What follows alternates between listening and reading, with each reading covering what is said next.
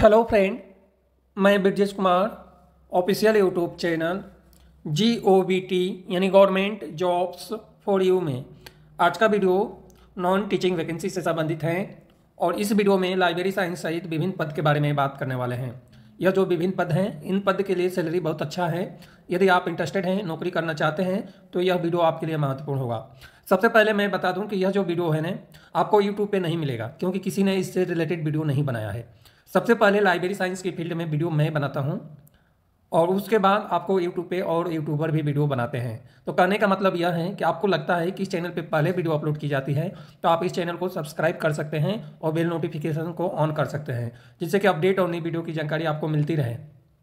दूसरी बात यह है कि यह जो वैकेंसी है नॉन टीचिंग की वैकेंसी है, और यदि आप वीडियो देखना नहीं चाहते और नोटिफिकेशन डाउनलोड करना चाहते हैं तो इस चैनल के द्वारा वेबसाइट बनाया गया है। वेबसाइट का नाम है G O V T jobs for you dot O R G इस वेबसाइट पर जाकर आप नोटिफिकेशन इजीली तरीके से डाउनलोड कर सकते हैं।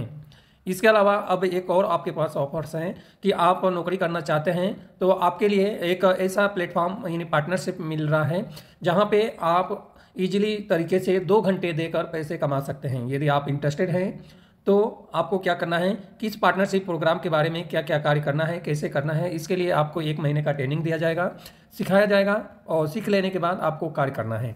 और जो आपको सैलरी जो भी आपको बनेगा, वो मंथली आपको सैलरी आपके अकाउंट में मिल जाएगा। क्योंकि जब इस पार्टनरशिप में आप जुड़ जाएँगे तो आपको क्या करना है कि आपको साथ नहीं छोड़ना है। चार साल तक साथ में रहना है। चार साल के बाद आप बहुत अच्छा पैसा कमाओगे, इतना ज़्यादा पैसा कमाओगे, जिसकी हम तुलना नहीं कर सकते। तो इसलिए आपकी इच्छा है तो पार्टनरशिप से आप जुड़ सकते हैं।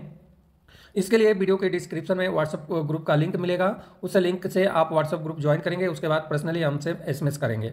तो आप इंटरेस्टेड हैं तो ज़रूर SMS करें अदरवाइज़ कोई दिक्कत नहीं है। आपको पार्टनरशिप के बारे में सिखाया जाएगा, कैसे पैसे बनता है, यह भी बताया जाएगा। आपकी इच्छा है तो आप कर सकते हैं अदरवाइज़ वहाँ से बोलेंगे कि नहीं, हम इंटरेस्टेड नहीं हैं।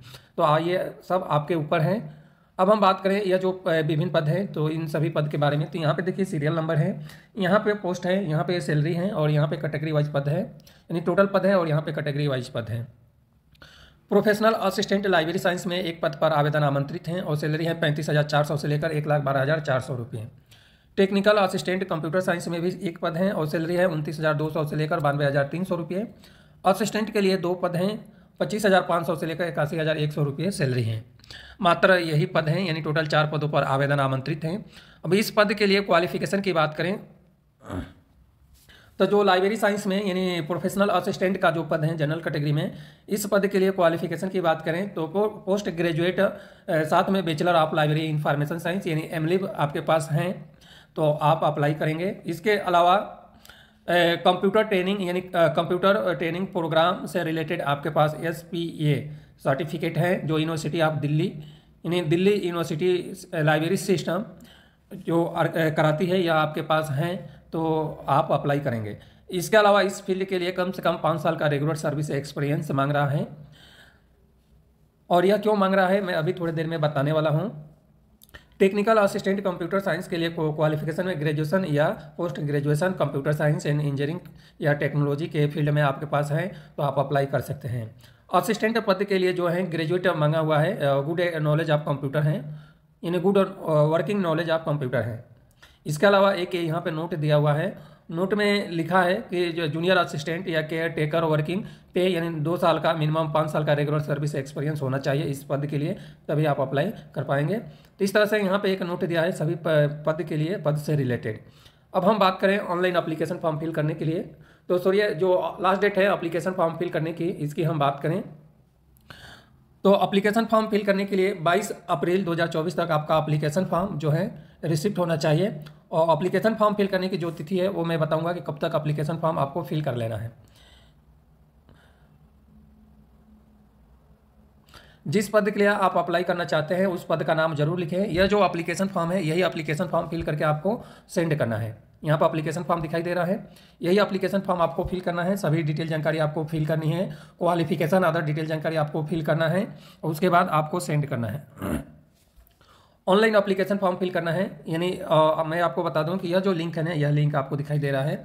इस लिंक पे क्लिक करना है। ये गूगल फॉर्म आपको फिल करना है। और इस गूगल फॉर्म को फिल करने की जो अंतिम तिथि है, चौदह अप्रैल 2024 तक इस गूगल फॉर्म को आपको फिल करना है। उसके बाद उसको प्रिंट आउट निकालना है। सभी सपोर्टेड डॉक्यूमेंट को सेंड करना है। यह गूगल फॉर्म है, मैं ट्राई करूँगा कि इसका लिंक जो है, मैं आपके पास तक पहुँचा दूँ। तो वीडियो के डिस्क्रिप्शन में मैं सोच रहा हूँ कि यह लिंक दे दूँ। अदरवाइज़ आप वेबसाइट से भी यह नोटिफिकेशन डाउनलोड कर सकते हैं। यह जो वैकेंसी है ना दिल्ली में आवेदन आमंत्रित है और यूनिवर्सिटी ऑफ़ दिल्ली के जो कॉलेजेस हैं, वहाँ पे आवेदन आमंत्रित है।